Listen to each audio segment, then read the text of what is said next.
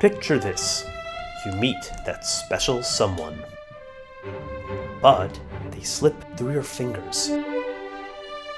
You wonder how you're ever going to get their attention. Maybe you ask your friends if anyone knows them. These days, you might send a strategic direct message on social media, maybe using a couple more emojis than usual. Or, if you're Hector Berlioz, you would change musical history by writing a hallucinogenic symphony about your loved one and get it premiered when you know they'll be in town, just to tell them how you feel.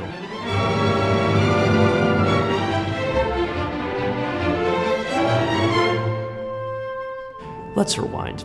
At 27, Berlioz, still a music student, had seen the famous British actress Harriet Smithson in a touring production of Shakespeare's Hamlet.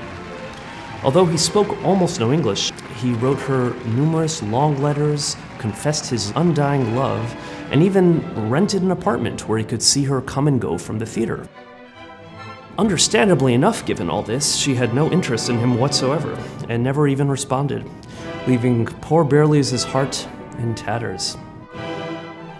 Now, these were the heady, absinthe soaked days of the early Romantic, capital R, movement. Edgar Allan Poe, opium, and emotional extremes were all the rage. To do his crush justice, uh, Berlioz conceived of a massive musical epic, telling a story that he himself devised. In that story, a musician, a thinly veiled portrait of Berlioz himself, meets the perfect woman and can't get her out of his mind. In the fourth movement, he takes opium to drown his despair. And here's where the fantastique part of Symphonie Fantastique really starts, because the rest of the piece takes place in his imagination and conjures up his wild visions while under the influence. He dreams that he murders his unfaithful love, is led to the guillotine, and then descends into the afterlife, where solemn church bells announce the start of a grotesque witches' sabbath the kind of satanic orgy where his beloved herself puts in an appearance. A word about those bells. He wanted the sound of the church bell to ring above the rest of the scene with an otherworldly clarity. Now, these church bells are so fantastically large that practically no orchestra has them in stock. We here at the ASO do, thanks to a generous bequest from a longtime ASO percussionist. And we present the piece to you now with the powerful bells that Berlioz had in mind in the last movement, signaling the start of a demonic bacchanal. Hell's Bells. This was all very new territory because until then, symphonies didn't tell stories.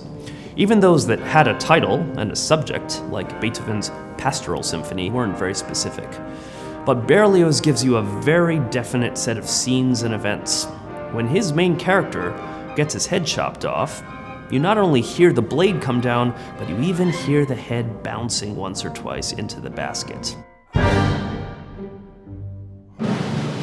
Oh, and Harriet Smithson? Eventually, she heard the piece and learned that it was all about her. Suitably impressed, she finally agreed to give Berlioz a chance.